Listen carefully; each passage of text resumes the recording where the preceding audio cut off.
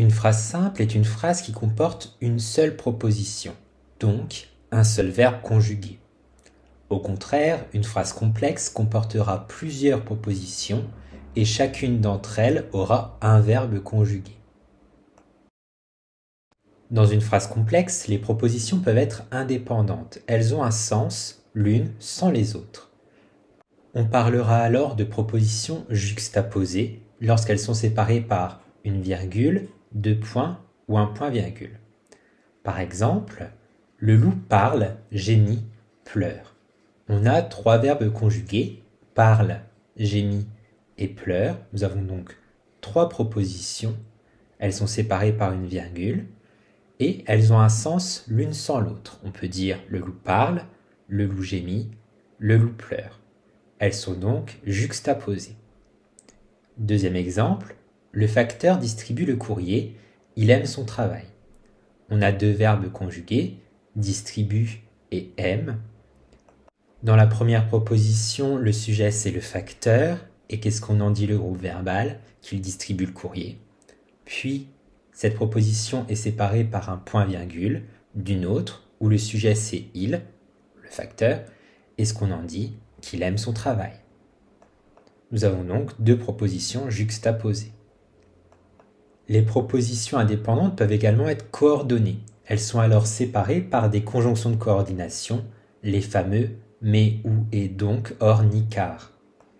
Par exemple, dans la phrase tu entres ou tu sors, nous avons deux propositions indépendantes, tu entres, qui a un sens, et tu sors, qui a également un sens, et ils sont séparés par la conjonction ou. Dans le facteur arrive et il distribue le courrier, on a deux propositions indépendantes, le facteur arrive, il distribue le courrier, et ces deux propositions sont reliées par la conjonction et, et. Enfin, dans la phrase il aime son travail car il se sent utile, nous avons deux propositions indépendantes. Il aime son travail, il se sent utile, et les deux sont reliés par la conjonction de coordination car. Ce sont donc toutes des propositions coordonnées. Dans les phrases complexes, certaines propositions sont incluses dans une autre proposition. On parle alors de propositions subordonnées qui sont incluses dans une proposition principale. On parle de proposition subordonnée conjonctive lorsque la proposition complète le verbe de la proposition principale. Par exemple, dans la phrase Je crois que tu as raison. Dans cette phrase, nous avons deux verbes conjugués, crois pour je crois et a pour tu as raison. Le groupe que tu as raison complète le verbe croire. Il répond à la question Je crois quoi Il est donc proposition subordonnée conjonctive. Deuxième exemple, la phrase L'inspecteur pense que le suspect ment.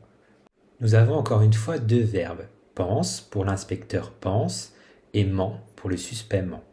Le groupe que le suspect ment complète le verbe penser. Il répond à la question L'inspecteur pense quoi? Que le suspect ment est donc proposition subordonnée conjonctive. Les propositions subordonnées peuvent également être relatives lorsqu'elles complètent un nom ou un groupe nominal qui est placé juste avant.